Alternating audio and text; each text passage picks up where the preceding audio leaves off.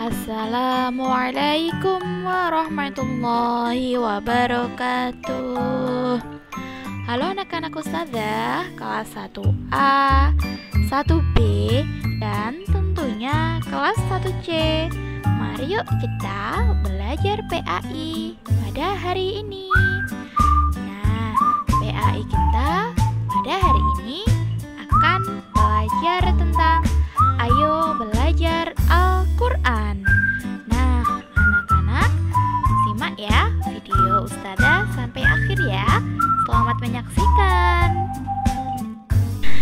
Baik anak-anak, tahukah kalian bahwasanya Al-Quran ialah kitab suci umat Islam Nah, Nabi yang menerima kitab suci Al-Quran ialah Nabi Muhammad Sallallahu Alaihi Wasallam. Nah, anak-anak, kitab suci Al-Quran itu terdiri dari 30 juz serta terdiri dari 114 surah.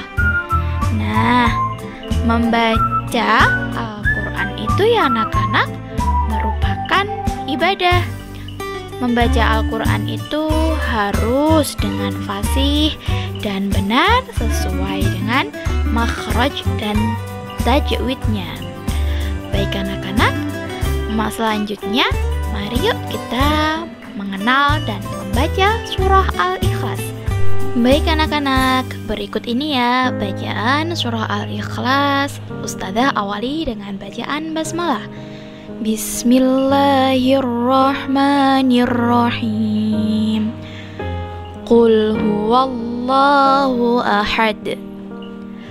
Allahus samad Lam yalid wa lam yulad.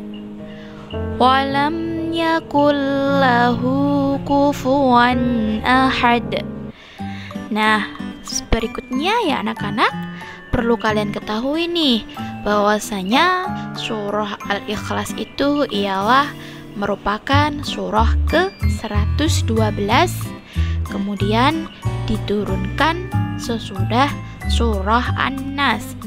Nah, surah Al-Ikhlas itu anak-anak ya, artinya ialah memurnikan keesaan Allah yang berarti bahwasanya Allah itu esa.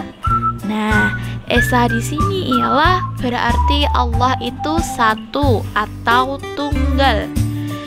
Kemudian anak-anak perlu kalian ketahui ya bahwasanya surah Al-Ikhlas itu terdiri dari empat ayat dan kemudian surah Al-Ikhlas itu ya anak-anak diturunkan di kota Makkah sehingga disebut dengan surah Makkiyah. Nah, anak-anak, demikian itu tadi ya pembelajaran PAI kita pada minggu ini tentang Ayo Belajar Al-Quran. Nah, anak-anak, jangan lupa ya, setelah kita belajar tentang materi Ayo Belajar Al-Quran, mari yuk kita tingkatkan semangat mengaji kita dan semangat belajar Al-Quran. Baik anak-anak, demikian pembelajaran PAI pada hari ini. Terima kasih sudah menyaksikan video Ustazah dari awal hingga akhir. Tetap semangat belajarnya, ditingkatkan ibadahnya. Jangan lupa sholat lima waktu dan sholat duhanya ya anak-anak. Baik anak-anak, Ustazah akhiri ya. Wassalamualaikum warahmatullahi wabarakatuh.